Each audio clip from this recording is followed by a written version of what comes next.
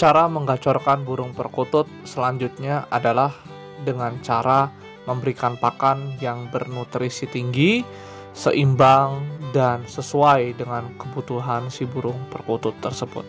Oke, simak dahulu part satunya apabila belum menyimak. Oke, lanjut.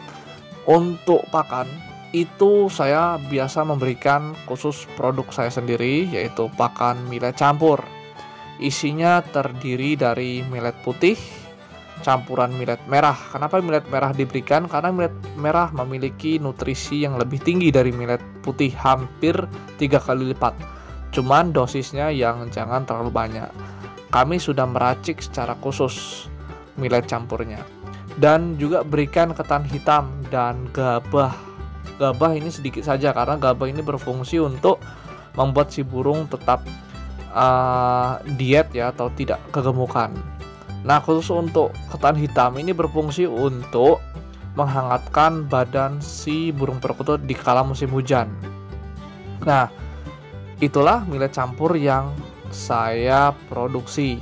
Mungkin bisa silahkan di order di akhir video ini nanti.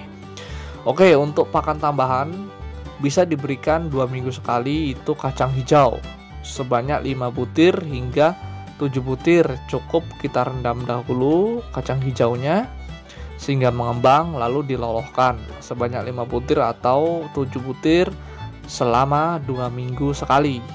Nah, untuk yang terakhir itu bisa berikan minyak ikan. Minyak ikan ini sebulan sekali saja agar uh, berfungsi sebagai kebutuhan protein hewani si burung perkutut. Uh, Oke, okay, untuk part 2 ini mungkin saya cukupkan dulu karena ini uh, pakan pakan yang berkualitas dan pakan yang dibutuhkan oleh si burung perkutut. Nabati sudah, hewani sudah. Lanjut di uh, part 3 ya. Perkenalkan produk kami khusus untuk menggacorkan burung perkutut dan khusus untuk ternak burung perkutut berupa minyak ikan dan millet campur. Cara ordernya sangat mudah, silahkan kunjungi halaman Facebook kami. Di situ nanti kami akan memberikan bonus berupa buku digital dan nomor HP pribadi saya untuk konsultasi seputar